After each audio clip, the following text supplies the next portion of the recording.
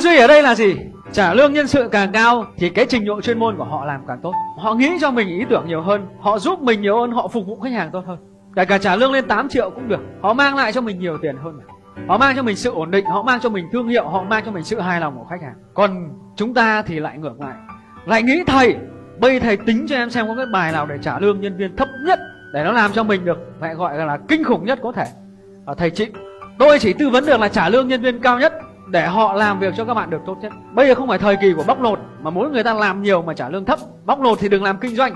Khách hàng nó ghét, nhân viên nó ghét, ai nó cũng ghét. Chẳng ai chơi được với mình cả. Bây giờ thời đại của win win đôi bên cùng có lợi. Bạn muốn kiếm được nhiều tiền thì bạn phải trả cho người ta nhiều tiền. Bạn muốn kiếm được tiền lâu dài thì bạn phải giữ chân người ta được lâu dài. Còn bạn cứ muốn giữ, bạn muốn cắt xén cái đồng lương của họ nhiều nhất có thể không được đâu. Tiền lương đó đối với họ rất thiêng liêng. Đó là tiền ăn cả tháng, đó là tiền nhà cả tháng, đó là tiền sinh hoạt cả tháng. Bạn không giúp người ta kiếm được nhiều tiền thì thôi, lại muốn cắt.